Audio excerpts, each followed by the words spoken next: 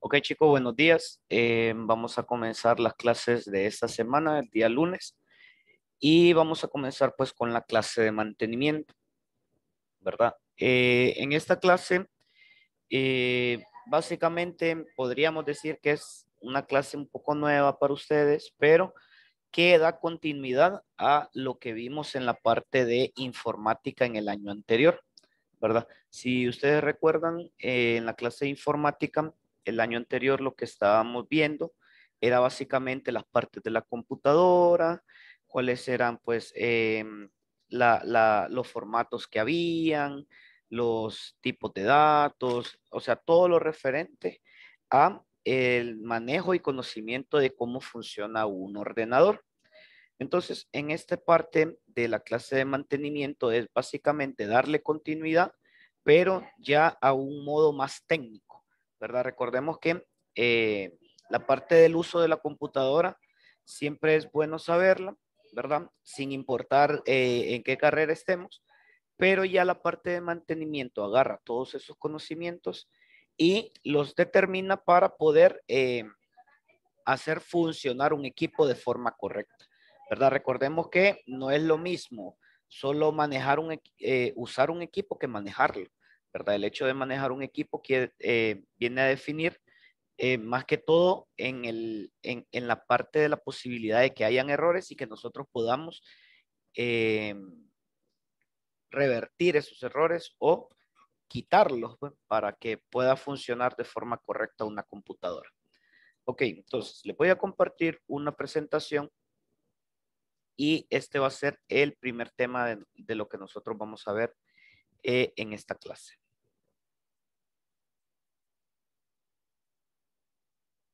Ok, entonces, eh, bueno, primeramente vamos a, vamos a dar la presentación. Vamos, necesito que me pongan atención en esta parte para que podamos entender la explicación y posteriormente, pues cada uno de ustedes va a tener eh, la posibilidad de copiar el contenido en sus cuadernos, ¿ok? Entonces pongamos atención a esta parte de la clase. En primer lugar, eh, vamos a ver lo que son los tipos de mantenimiento que existen. Pero antes vamos a dar un pequeño concepto de lo que es eh, un mantenimiento. Así que si nos colabora Roger, por favor, con esta primera presentación.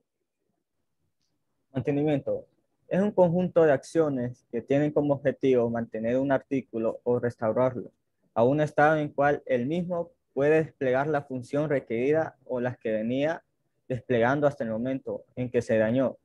Tipos de mantenimiento. Tradicionalmente se han distinguido cinco tipos de mantenimiento que se diferencian entre sí por el carácter de tareas que incluyen. Ok, si nosotros escuchamos al compañero, estableció un concepto de lo que es mantenimiento.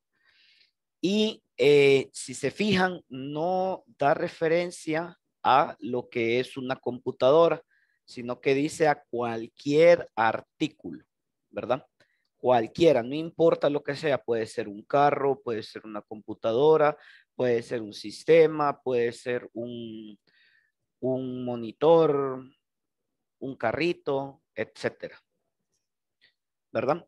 Y nos dice que es cualquier eh, actividad que sea para eh, definir el funcionamiento del mismo, ¿verdad? O sea, el mantenimiento lo que hace es eh, preservar cualquier artículo sin importar el uso para que pueda seguir siendo usado de una forma óptima, ¿verdad? Y nos establece también en esta presentación que hay diferentes tipos de mantenimiento que van a depender de la actividad que se realice, ¿verdad? Ahora bien, si, si fijamos, hay diferentes tipos y nos dice que son cinco. El primero es un mantenimiento correctivo. Si nos hace el favor, Brian.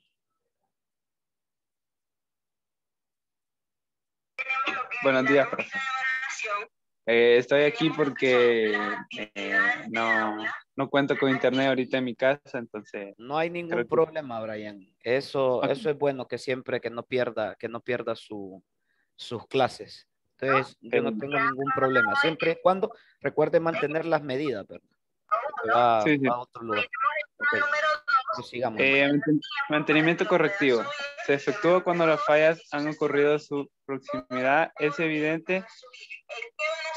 Es el conjunto de tareas destinadas a corregir los defectos que se van, a eh, se van presentando en los distintos equipos y que son comunicados al departamento de mantenimiento por los usuarios de los mismos. Ok, si nos fijamos, este eh, nos dice que es el mantenimiento correctivo. Este funciona cuando ya la falla es evidente. O sea, que nosotros notamos que ya el problema no, o sea, que, que, que el problema ya afecta de forma notoria a un equipo, ¿verdad? Y que se tiene que, por así decirlo, meterle mano, pues, y que ya no puede ser eh, una persona cualquiera que le dé eh, esta acción, sino que tiene que ser una persona especializada. Por eso nos dice ahí que eh, ese tipo de fallos se comunican más que todo al departamento de mantenimiento para, para que estas personas puedan realizar este tipo de acciones. Solo permítanme un momentito, por favor.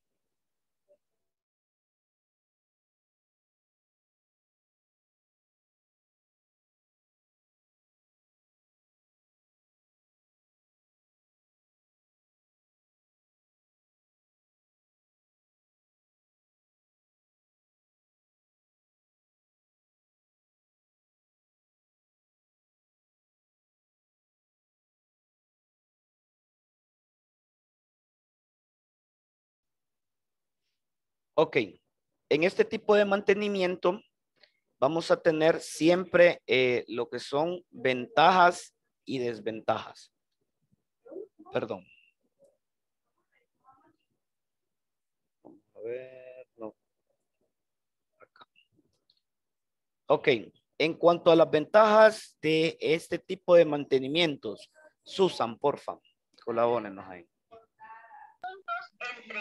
Ventajas, confiabilidad, mayor duración de los equipos e instalaciones, uniformidad en la carga de trabajo para el personal del mantenimiento debido a una programación de actividades, menor costo de reparaciones.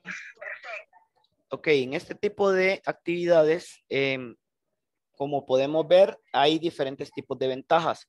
La primera, la confiabilidad. ¿Por qué? Porque son personas expertas las que manejan este tipo de mantenimientos. Una persona que no tenga la capacidad, por ejemplo, o que no tenga la instrucción para poder realizar un mantenimiento correctivo, eh, no lo va a poder hacer.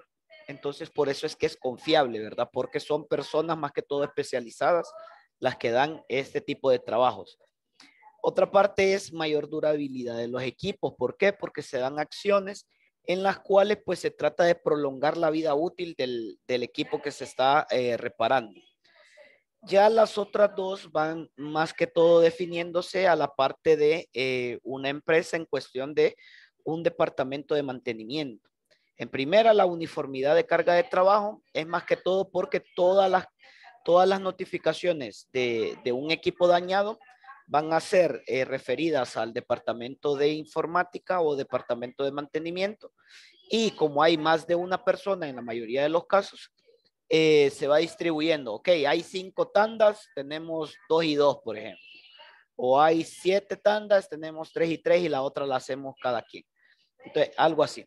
Y que tiene un menor costo es porque cada una de las personas pues ya está destinada para ese tipo de trabajo y tiene el equipo eh, definido, cosa que eh, en otra parte eh, definiría un mayor costo porque hay que comprar todo un equipo de mantenimiento.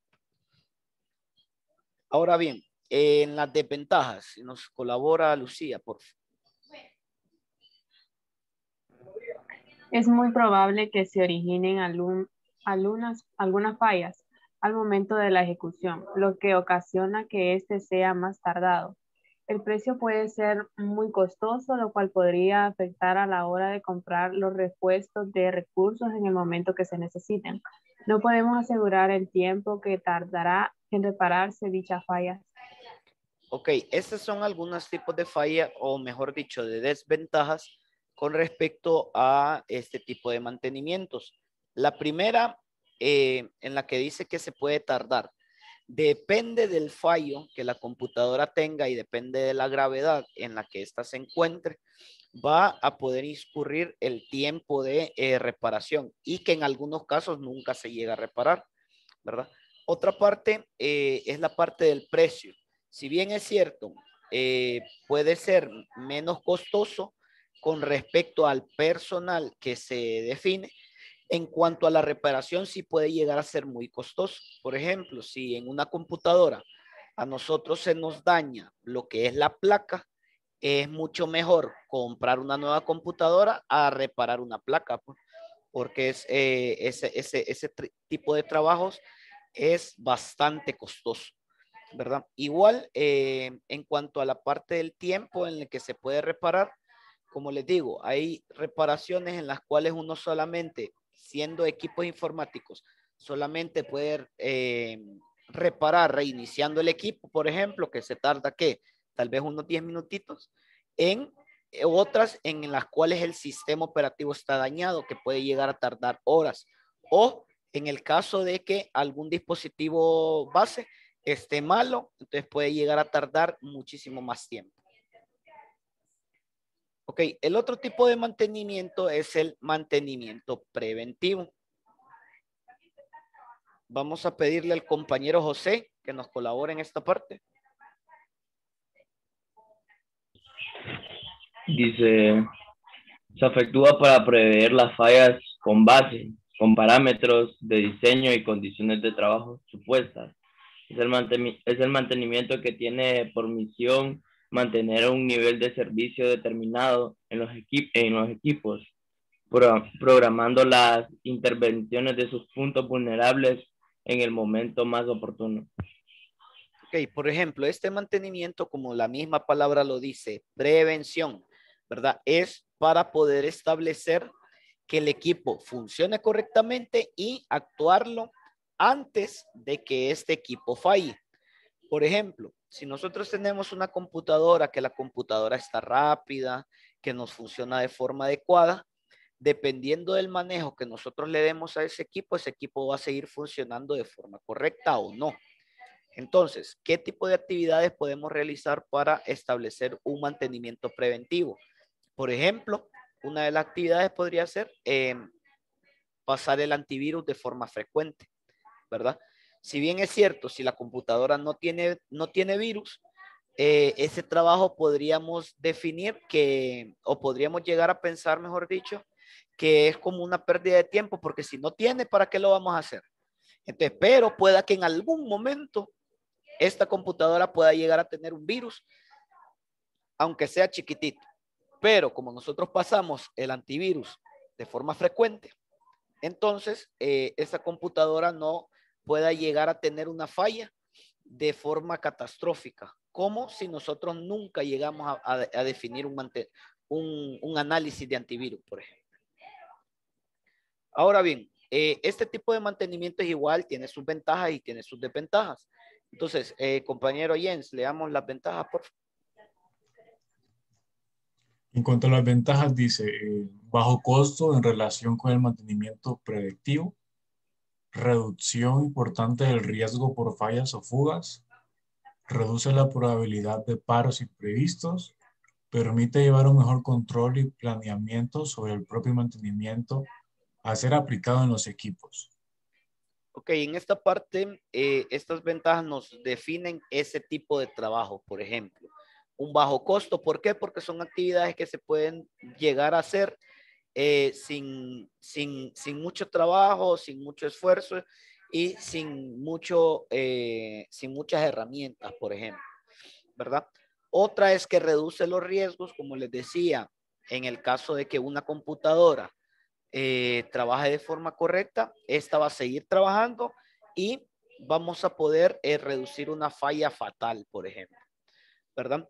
Reduce la probabilidad de paros imprevistos. ¿Por qué? Porque la computadora está funcionando de forma óptima y permite llevar un control, ya que nosotros tenemos eh, ciertas actividades planificadas, por ejemplo, ¿verdad? Y esto hace que nosotros podamos definir, ah, ok, esta computadora el día de ayer, por ejemplo, funcionó de esta manera, pero el día de hoy ya funciona diferente. Entonces ya uno ya sabe, por ejemplo, más que todo, qué podría llegar a ser el fallo. ¿Por qué? Porque hemos ya estado eh, realizando una cierta actividad que nos permite llevar un control y monitoreo de las actividades realizadas en un equipo, por ejemplo. Ok, tenemos también ciertos tipos de desventajas. Si nos colabora Roger otra vez. Se requiere tanto de experiencia del personal del mantenimiento como de las recomendaciones del fabricante para hacer el programa de mantenimiento a los equipos. No permite determinar con exactitud el desgaste o despreciación de las piezas de los equipos. Ok.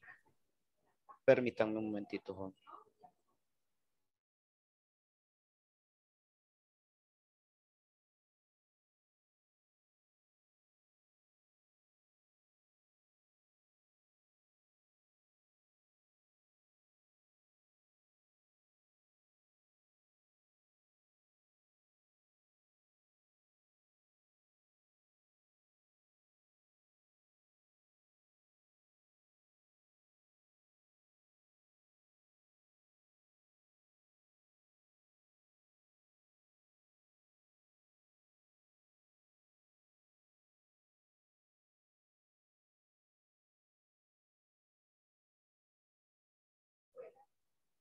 Ok. Eh, estas ventajas, desventajas, perdón, eh, lo que nos hablan más que todo es eh, de, algunos, de algunos factores que pueden llegar a ocurrir en un futuro. Por ejemplo, en la parte del desgaste y de la depreciación del equipo, recordemos que toda computadora, como todas cosas, tiene una vida útil, por ejemplo, ¿verdad? Y esta vida útil, pues, pues llega un momento en el cual simplemente realiza la falla, ¿verdad? Entonces, eh, este tipo de desgaste con este tipo de mantenimiento no se puede eh, garantizar, como por así decirlo, ah, falló de tal día, tal día.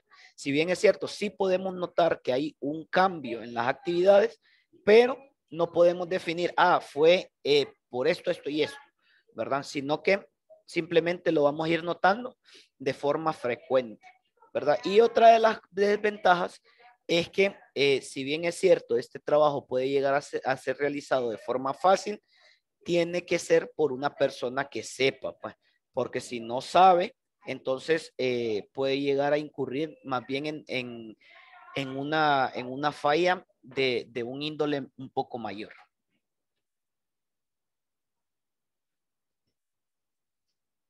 Ok, el otro tipo de mantenimiento es el mantenimiento predictivo. Si nos ayuda Lucía, por favor. Es el que persigue conocer el, e informar permanentemente del estado y operatividad de las instalaciones mediante el conocimiento de los valores de determinadas variables representativas de tal estado y operativa, operatividad. Para aplicar este mantenimiento es necesario identificar variables físicas, temperatura, vibración, consumo de energía, etcétera, cuya variación sea indicativa de problemas que pueda estar apareciendo en el equipo. Ok, esto por ejemplo podemos irlo ir eh, determinándolo eh, mediante el mantenimiento preventivo. Por ejemplo, ¿cuál sería como la diferencia entre el mantenimiento preventivo y el mantenimiento predictivo. El mantenimiento preventivo es una sola actividad que se hace frecuentemente. Y en este mantenimiento predictivo es poder determinar de esas actividades que se hacen frecuentemente, llevar como un control o un monitoreo, en el cual a nosotros se nos permite poder establecer un cambio en cuanto a alguna variable. Por ejemplo, ahí nos dice variables de temperatura. Si nosotros hacemos un mantenimiento preventivo y nosotros determinamos el valor de la temperatura, en este caso, podemos llegar a determinar, ok, el día de hoy tiene una temperatura, el día de mañana tiene otra temperatura diferente, pero hace un mes tenía cierta temperatura. Entonces podemos ir viendo los cambios que se van a ir dando entre el factor de temperatura, en este caso, ¿verdad? Que se da en un equipo determinado a través de un periodo de tiempo específico. Entonces, ahí, mediante ese tipo de mantenimiento, nosotros podemos, como la palabra lo dice, eh, predecir eh, algún tipo de falla y poder estar preparados con eh, diferentes tipos de instancias. Ok, tenemos ventajas. Entre las ventajas nos dice que está, en primer lugar, da más continuidad a la operación. Como les decía, el mantenimiento preventivo lo hacemos diario, pero con el mantenimiento predictivo llevamos una, eh, una anotación, por así decirlo, o un seguimiento de ese tipo de tareas, ¿verdad? Da más confiabilidad, requiere menos personal y los repuestos duran más. ¿Por qué? Porque nos permite, pues, por así decirlo, estar preparados para cualquier tipo de instancia. En cuanto a las desventajas, nos dice que siempre hay un daño que necesita programación, ¿verdad? Que requiere equipos especiales y costosos. Eh, es importante contar con personal más calificado y costosa su implementación. ¿Por qué nos define que más que todo porque es costoso? Porque hay que tener en cuenta todo el seguimiento a todos esos mantenimientos que se le tiene que dar. Y en el caso, pues, si hay un daño, pues se necesita la programación. ¿Por qué? O sea, programación en cuanto a establecer una actividad eh, planificada, ¿verdad? Ahora bien, tenemos el otro tipo de mantenimiento que es el mantenimiento cero horas. Si nos ayuda Susan, por favor.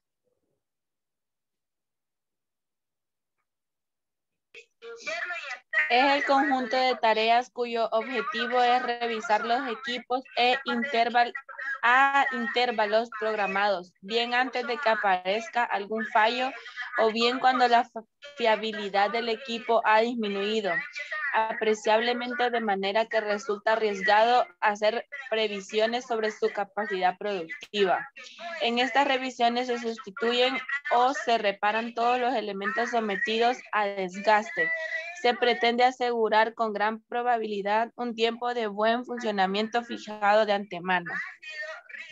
Por ejemplo, en este tipo de mantenimientos es en el que se hace, es muy parecido a la parte del mantenimiento predictivo, con la diferencia en, en, que, en que esta simplemente se define como un cambio en cuanto a disposiciones del equipo eh, de forma anticipada. Por ejemplo, nosotros podemos definir que una computadora, la memoria RAM, le funciona alrededor de un año o, o ciertos tipos de meses. Entonces, ya sea que el equipo funcione o no, esta memoria se cambia en ese periodo de tiempo para que siga funcionando de forma correcta. Por ejemplo, ese, ese podría ser un, un, parámetro que nosotros podríamos llegar a tener para poder comprender este tipo de mantenimiento de hora cero. Entonces, veamos esas ventajas y desventajas, eh, Brian. Eh, ventajas. Aumenta la vida útil del equipo.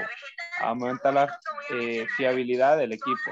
Desventajas. El recurso económico puede ser elevado. Ok, si miramos en las ventajas y desventajas, era lo que decíamos, ¿verdad? si el equipo se le cambian los diferentes tipos de, dispositivos que no funcionan o que se dañan frecuentes, entonces la vida útil va a ser mayor. Pero esto lleva un costo.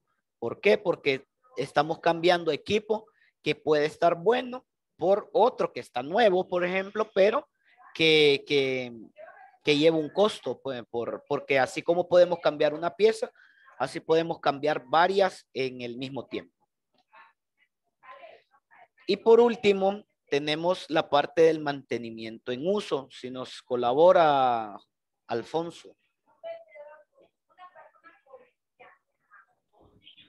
Es el mantenimiento básico de un equipo realizado por los usuarios del mismo. Consiste en una serie de tareas elementales, eh, tomas de datos, inspecciones visuales, limpieza, lubricación, eh, reapriente de tornillos para los que no es necesario una gran formación, sino tal solo un entrenamiento breve. Este tipo de mantenimiento es la base del mantenimiento productivo total. Ok, esta parte si nosotros la fijamos, la, al principio podemos darnos cuenta de cómo es mantenimiento en uso. O sea, este tipo de mantenimiento se da eh, a medida nosotros vamos usando el equipo, ¿verdad? Y consiste, como dice ahí, en una serie de elementos, ¿verdad? Para los que no es necesario una gran formación, sino que simplemente nosotros vamos definiendo, ok, eh, necesito usar tal programa, entonces lo usamos de forma correcta, por ejemplo. Eh, en el caso de una computadora, encendemos y apagamos el equipo correctamente, ¿verdad? Le damos eh, un uso al, al, antivirus, em, cerramos los programas que no estamos utilizando, cositas así, ¿verdad? Que son pues eh, actividades que se dan en el uso, pero que ayudan a que el equipo funcione de forma correcta. Ahora bien, en las ventajas, compañero Jens, nos colabora, profe.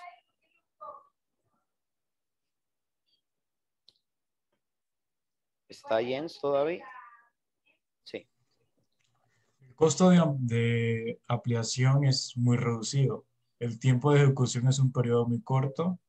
La producción estará en un stop por un periodo mínimo de tiempo.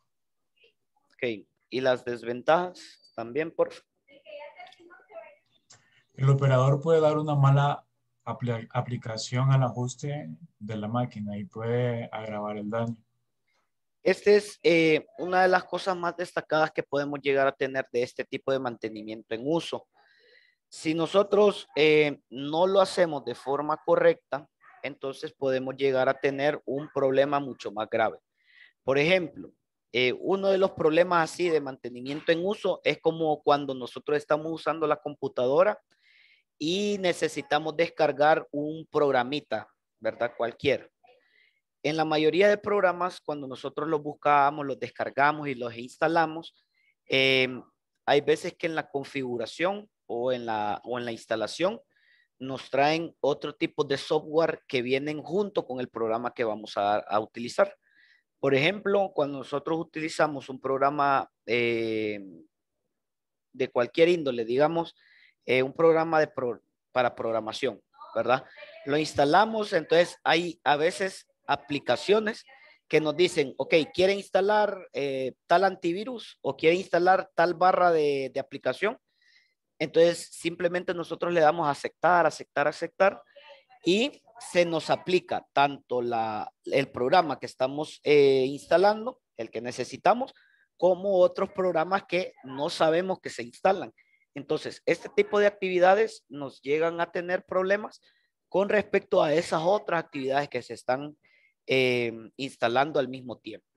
Entonces, por eso es que si una persona sin experiencia, por ejemplo, lo hace, eh, puede llegar a, realizar un daño en vez de un beneficio en, en el equipo que se está utilizando. Ok, entonces, esos son los tipos de mantenimiento que nosotros podemos llegar a tener en un equipo.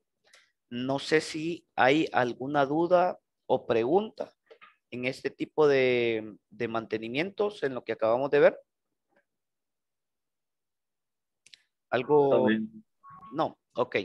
Entonces, les voy a compartir en la parte de, eh, de Classroom. Le voy a, les voy a compartir esta presentación para que ya sea que, bueno, para que ustedes puedan eh, identificarla en su, en su dispositivo y podamos copiar el contenido en el cuaderno.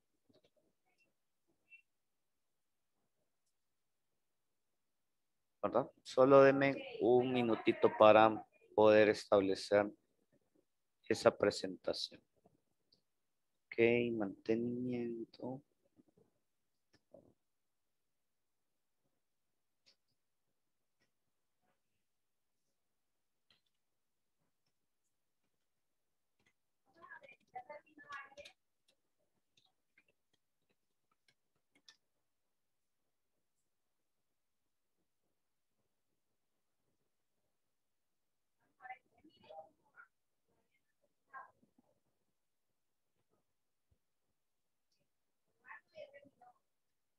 Ok, ya tienen eh, ese, ese trabajo, bueno, esa, esa presentación en la parte de Classroom. Entonces, el trabajo va a consistir en de, del contenido, lo copiamos en el cuaderno y vamos a hacer un, bueno, el, este mapita conceptual que aparece acá, ¿verdad? Salvo que no vamos a poner las ventajas y desventajas, solo vamos a poner eh, los tipos de mantenimiento, ¿correcto? Con una pequeña descripción de cada uno. Como un cuadro, así lo hacemos. Sí, por ejemplo, si ustedes se fijan aquí, aquí ya está, ya está hecho prácticamente el, el como mapa conceptual, ¿verdad? Tenemos tipos de mantenimientos, ¿verdad? Si lo miramos acá, está el concepto de mantenimiento y después el tipo de cada uno con su respectivo concepto también. Entonces, eso es lo que vamos a realizar en una hojita aparte. Bueno, en una, en, siempre igual en su cuaderno, pero luego de copiar el contenido. ¿Ok? Entonces, primero copiamos el contenido con respecto al material, así como lo tenemos en cada uno, y posteriormente hacemos el mapita conceptual. ¿Ok? ¿Hay alguna pregunta con esto? Alguna. Ok, entonces procedamos a poder realizarlo. entonces hay que hacer un mapa conceptual, pero solo con la con los tipos, ¿verdad? No hay que poner los desventajas ni las no, ventajas. Es correcto, así. Y con respecto, por ejemplo, al, concepto, eh, lo resumimos, no vamos a, a, escribir todo otra vez, pues, sino que vamos a dar simplemente una idea básica del concepto. ¿Ok? Bueno, pues entonces, eh, trabajémoslo pues con, la presentación de, Classroom para que cada quien pues avance, avance a su, a su manera, ¿verdad? Cualquier duda, pues me la hacen saber.